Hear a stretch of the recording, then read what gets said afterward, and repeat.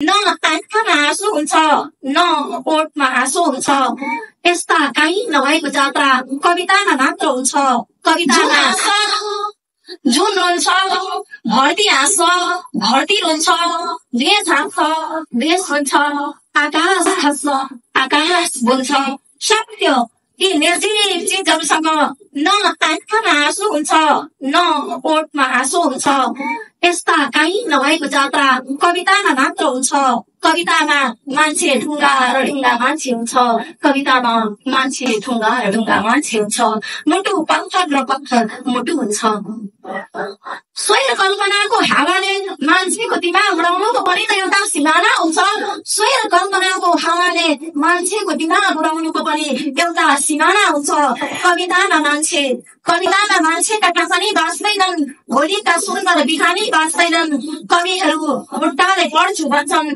टाउकाले हिँड्छु भन्छन् कविहरू खुट्टाले पढ्छु भन्छन् टाउकाले हिँड्छु भन्छन् र दुनियाँलाई आफू जस्तै बेहोसी बनाउँछु भन्छन् र दुनियाँलाई आफू जस्तै बेहोसी बनाउँछु भन्छन् कवितामा यादगार कम र झुट बढी हुन्छ आशा कम र निराशा बढी हुन्छ अनि वर्षौँदेखि अनि वर्षौँदेखि कसैले कविता मन पराएनन् भनेर किन कवि हुन्छ अनि वर्षौँदेखि कसैले कविता मन पराएनन् भनेर किन कवि हुन्छ झुट कम र यथार्थ बढी भएका कविताहरू त उहिलेदेखि मन पराउँदै आएका छन् मान्छेहरूले। कवितामा देश बाँचेका समाज बनेका कविताहरू त उहिलेदेखि मन पराउँदै आएका छन् मान्छेहरूले।